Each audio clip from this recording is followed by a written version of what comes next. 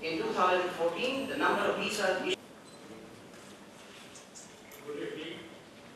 Prime State of Belarus, His Excellency, Mr. Ramdev. Another key objective of my visit is to foster mutually beneficial linkage between premier academies and scientific institutions in India and Belarus. I am glad to see that the Indian Digital Learning Centers in has been successfully operating since January 2012 and has impacted advanced IT training to a large number of IT professionals from Belarus. Several young people from Belarus have benefited from India's IT training. India attaches great value our friendship and cooperation with Belarus.